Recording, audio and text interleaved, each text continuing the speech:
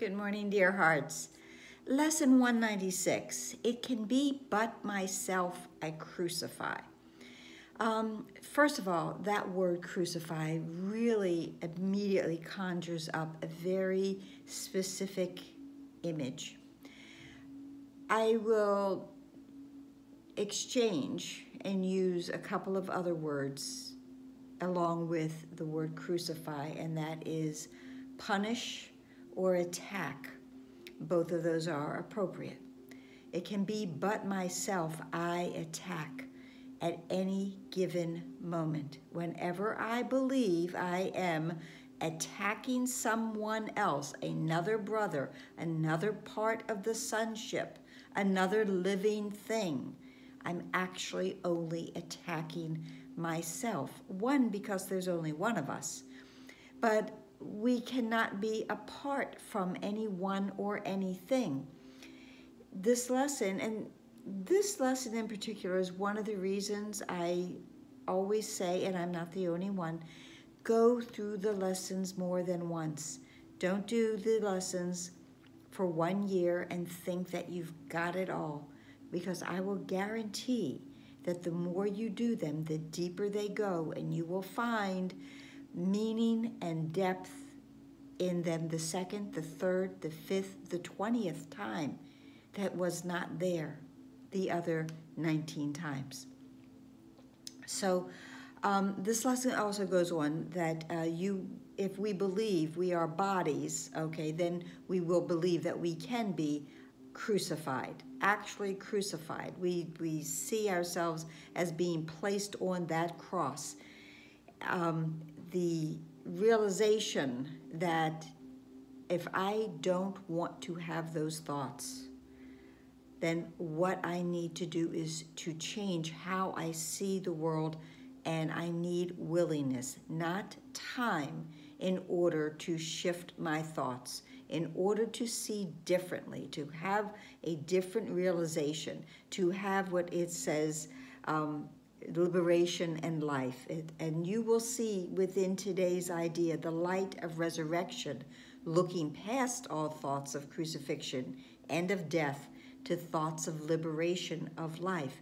Because when we are willing, we are ready to put down the nails and the wood that we have used against ourself, thinking perhaps that we've done it to others we will come to the realization that if I attack anyone, I am attacking and hurting and punishing myself. The dreary, hopeless thought that you can make attacks on others and escape yourself has nailed you to the cross. Perhaps it seemed to be salvation, yet it merely stood for the belief that fear of God is real. This is the other thing that this lesson addresses. There is a fear of retribution from um, what we would call a divine source. In truth, it is the God with a little g that the ego made up at the moment of our separation from God the Father.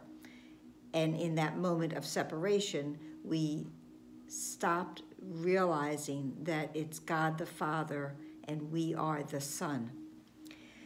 It says, if you understand, it is impossible that you be hurt except by your own thoughts. The fear of God must disappear. Goes back to another lesson uh, that told us that there's nothing outside of ourself. I'm also going to bring into this that I am as God created me. I am not the body.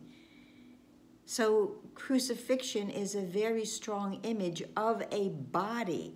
And I am not that. We are not that. Also, that when we are healed, we are not healed alone. When I am healed, I will bring you to heaven with me. Or if I refuse the realization of healing because I deny who I really am, I will most certainly drag you into hell with me because wherever I go, I go with you.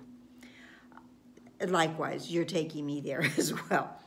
So the realization simply to free our thoughts from the way that we have thought, from the the instances and the scenarios and this littleness that we have been presented with and have accepted.